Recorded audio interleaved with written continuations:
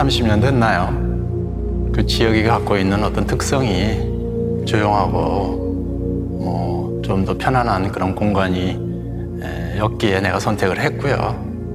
이제 제가 가꾸고 또 이렇게 마음을 주고 어, 오랫동안 이제 저에게는 굉장히 중요한 공간이 되어버렸죠. 어.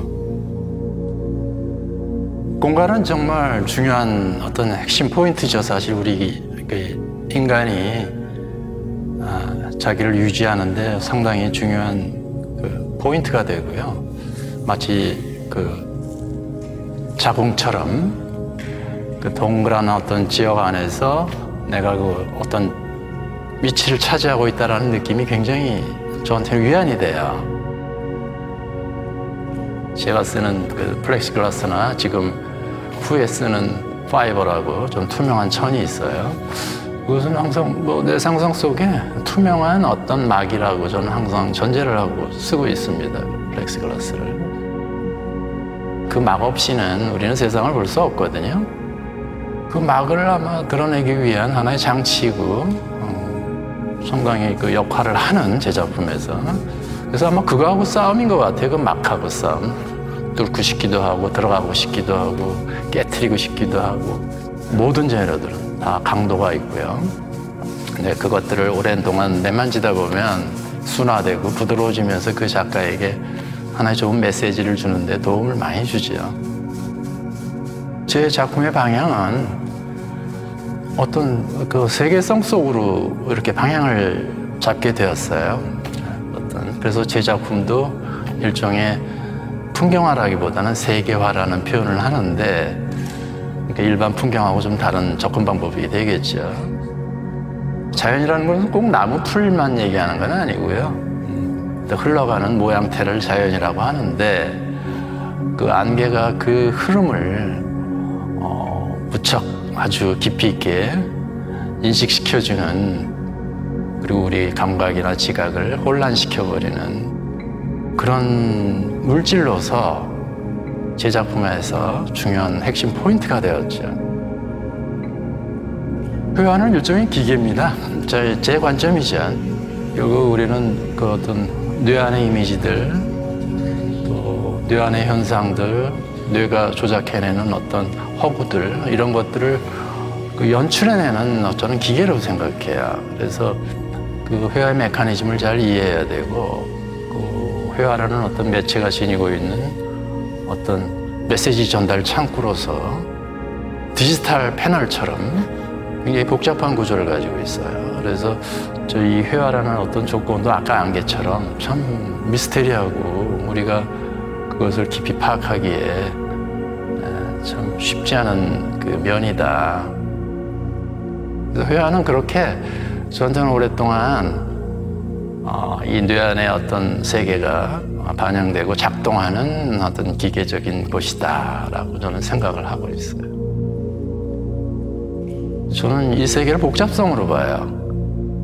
그래서 뇌도 저는 그것을 조합하고 또 그것이 어떤 재료를 통해서 다시 재구성되는 그 모든 전 과정을 전 엔지니어링이라고 저는 생각을 해요.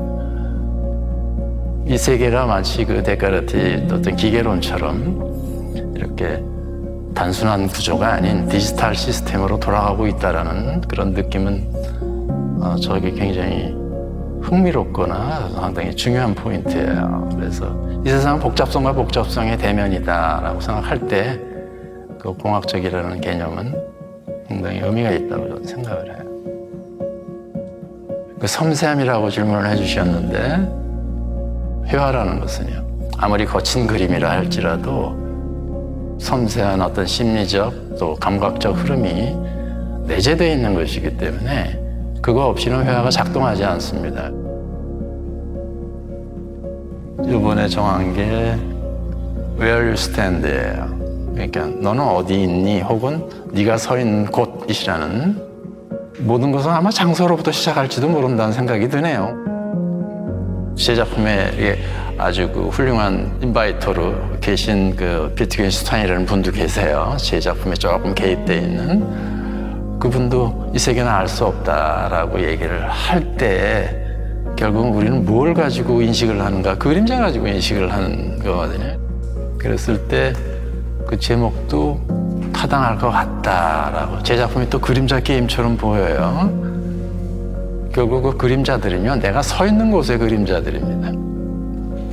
그 내가 서 있는 곳의 파편들을 보는 거예요. 그랬을 때 어, 우리가 움직일 때도 계속 그림자들이 변하고 이 풍경 저 풍경 그래서 이번에 작품들은 전부 그 공간 이동에 관련된 이미지들의 종합들이에요. 보여주고 싶은 거는 나의 어떤 그 시간들입니다. 그 시간을 잘 쓴 사람들이 만든 것들이 좋은 작품이에요. 좋은 생각하고 그 시간 안에서 얼마나 이렇게 밀도 있게 집중하고 또 시각적 그 게임을 잘 해냈는가 그 안에 있었던 시간들을 기억시키고 싶고 시간을 보는 눈, 그또 시간의 힘을 느낄 수 있는 눈 이런 것들이 있습니다 인간한테 그걸 말하고 싶어요.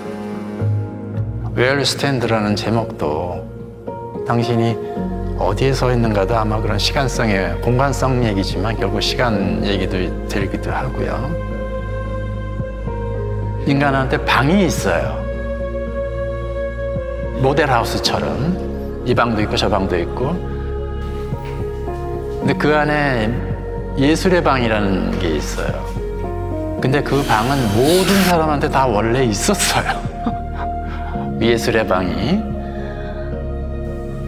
근데 그걸 워낙 안 써서 방문이 잠겨 있어요. 아, 그 키를 드리는 거라고 저는 생각을 해요. 예술의 방을 여세요. 그래서 이 세상을 좀 더 아름답게 보도록. 아름다움이라는 게 그래서 중요한 거예요. 그 예술의 방은 선의 방입니다. 전시라는 개념은 바로 그 방을 소개하고 좀 세계가 이렇게 아름다워요 라고 말씀드리는 그런 시간들이 아닐까 저는 이런 생각을 해요.